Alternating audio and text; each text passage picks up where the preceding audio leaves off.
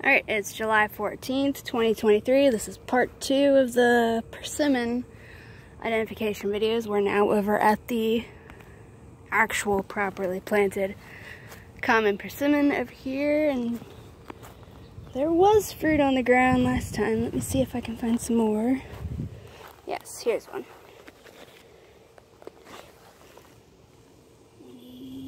Okay, the cap just fell off, so let me grab that. So we can use both for comparison. We'll go back over to the sidewalk here to compare the fruits. And then I'll show you the plant itself.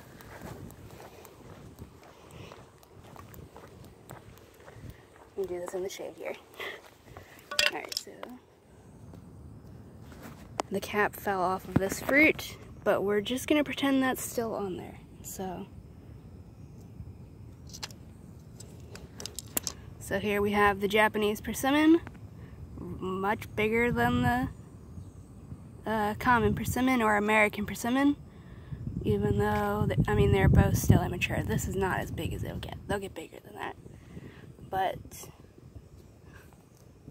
you can't really see it with these two examples, but the calyxes on Japanese persimmons are usually much bigger compared to the size of the fruit than these are, although this is not a good example. This one will probably have seeds in it because the last fruit I got from this tree did. And we can just go look at the leaves now.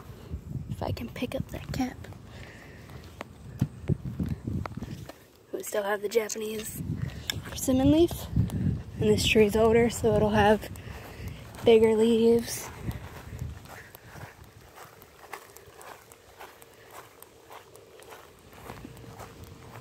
And there's some that fell off. That's really convenient. All right.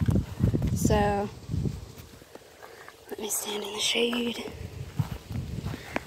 So, can you see the difference? If it, well, actually, yeah, the fact that it's getting bent by the wind is a difference. See how shiny the Japanese persimmon leaf is, and then this is not shiny at all, and does that because it's a lot thinner. They've got different kinds of veins on the back. I assume this leaf fell off.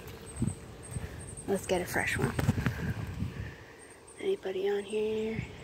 Let's try and find a nice one. Okay.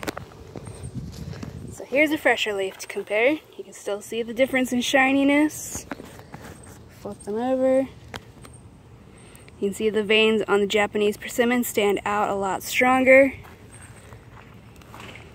Got grass poking my legs. And this has orange fuzz. I'm not sure if it shows up on the camera. And then this doesn't. Both of them have the central leaf vein, which in these ones is yellow. Standing out pretty strongly against the green of the leaf. Get them positioned. There leaf stem thing, whatever the scientific name is for that. I don't know. It's about the same size. Alright. Hmm. Well, yeah, I guess I can press them. So let's look for some fruit that's still on the tree. Here's one right here that's a little baby. And you can see how it is attached to the stem and that the stem goes in a zigzag. So the leaves, one on this side, one over here, XYZ, forming a zigzag. That's called alternating leaves as opposed to opposite when they are straight across from each other. So the flowers form at each leaf bud, so at the base of each leaf. Here's another fruit that's a bit bigger. Go around to this side. There's more fruit on the ground. Here, this will show off the buds very nicely. Persimmon buds are dark, either really dark gray or black, and they're kind of like a, alright camera, they're pointed, but not super sharp, although that one at the end is a bit sharper. At the end, they sort of, come on camera, they'll form a little sideways thing you can see that it's forming a zigzag. So like if you were to connect the dots, there'd be a zigzag up the stem, That's how you tell persimmons from other things. There's a lot of fruit on this branch here. If I turn the brightness up, you can see them. And, oh yeah, lots up there. Let me try to zoom in. There's a big one up there. And let's go back over here. Now we can look at the trunk. I didn't actually really show the trunk of the Japanese persimmon, so whoopsies. And there's some Spanish moss growing on here, which if you're familiar with the southern US, you're probably super used to. Go around to the side.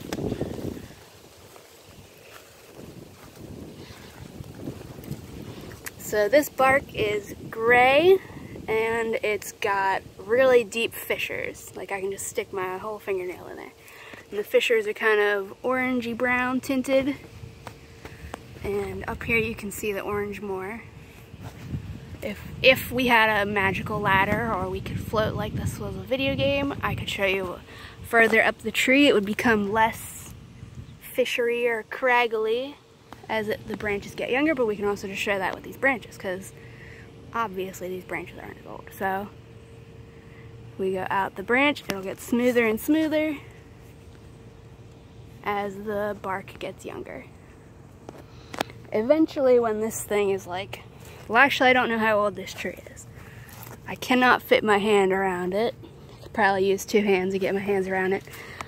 But eventually when this thing is like 50 plus something ridiculous like that, the skin will get even more crackly. These will turn into big, like, squarish chunks and it'll look like alligator skin.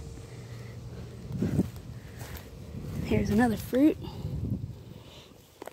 I don't know if I mentioned it yet, but these fruits are not ripe, so you cannot eat them. They would be disgusting. Don't eat unripe fruit. and I think that's it for this video, because we got the leaves, got the bark, we got the fruit. Uh, oh hey, here's another one. This might be a seedling or just a root sucker. So you can look at this one too. It's probably a root sucker. And there's some leaves that fell probably. I don't know if they have a male persimmon tree around here somewhere, but they might. That might be why this has stuff. Alright, that's it for this video. Hopefully this helped you learn how to identify them. Bye-bye.